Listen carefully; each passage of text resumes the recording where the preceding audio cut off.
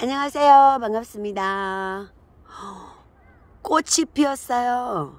이거 무슨 꽃인지 모르겠어요. 와, 세상에. 오늘 날씨도 봄 날씨 같은데 이렇게 꽃이 피어서 가까이 볼까요? 보이시죠? 와, 꽃봉오리도 이쁘고, 아유, 이쁘죠? 봄이 오기는 왔는 것 같아요, 진짜로. 따뜻한 날씨도 달라요. 여기도, 어머, 여기는 활짝 피었다. 보여드릴까요? 꽃. 근데 조금씩 군데군데 피어 있어. 와. 가까이 하면 꽃이 안 나오는가 보다. 아, 됐다. 아름답죠? 매화.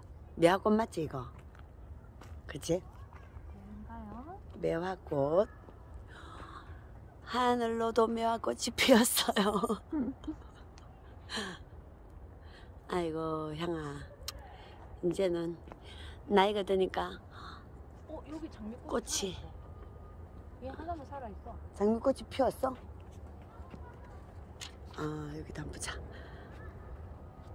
장미꽃. 엄마, 내가 키가 조그만한가 보다. 보이나요? 한 송이가 탁 있어요. 다 메마른 가지에. 어머나, 신기하다. 그자?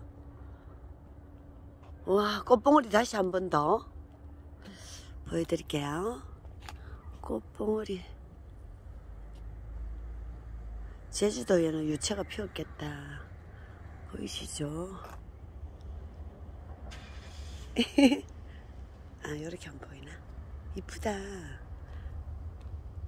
저기는 목련꽃인데 벌써 몽우리가 있어요. 보여드릴게요.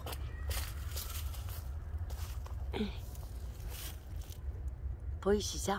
목련꽃, 봉우리. 이게 조금 있으면 아마 필 거예요. 그죠? 와, 피면 예쁘겠다. 이 목련꽃 나무. 그쵸?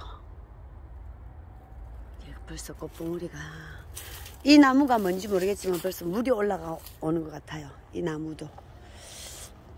자, 꽃이 피어 있어서 잠깐 찍어봤습니다. 유치님들 건강하시고요. 여기 어 보면은 길목에서 이렇게 예쁜 꽃처럼 활짝 핀 인생 되시기 바랍니다. 사랑합니다. 건강하세요. 오늘 꽃봉오리 보고 너무너무 행복합니다. 보면은 길목에서 최서연 인사드렸습니다. 감사합니다. 사랑합니다.